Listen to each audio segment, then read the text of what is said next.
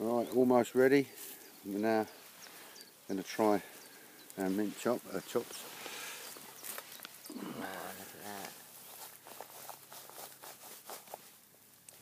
A bit of a ton of wood with it. oh, the smell is divine. Yeah, they look cooked. Yeah. I've got to eat wood lice, by the way. This is all for my woman. She gets to eat all the lamb chops. I like my meat. oh, mint sauce, look. Got our mint sauce, haven't we? Yeah. Ah, let's tuck in. Wow, look at that, look. Just let us see, take the It- first, first, first mouthful. Who look. needs fine dining?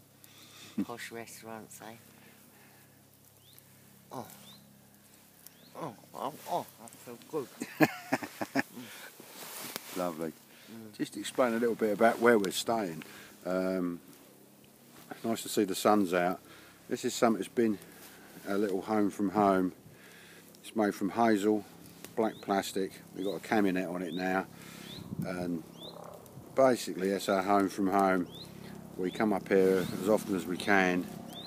Um, we've slept under tarps and, and made shelters um, in the past, but sometimes you want to come up and just chill out and get away from it all. This is where we come. Um, so it's been here probably five or six years now. And it's big enough for for two.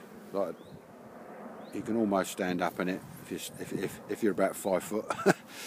but that's just brilliant. Um, we we come up here and we just enjoy ourselves, practice our bushcraft skills, bring a few luxuries, um, and that's about it really. Um, beautiful place, and it's turned out to be a nice day, which is nice. Uh, our bread's doing well. Just try and zoom in on that.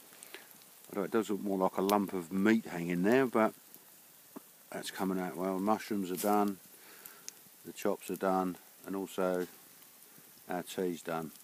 And we'll I'll be taking it off there in a little bit.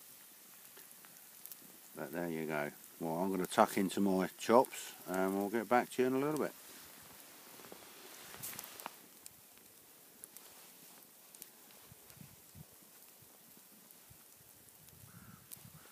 God, they're so good, darling.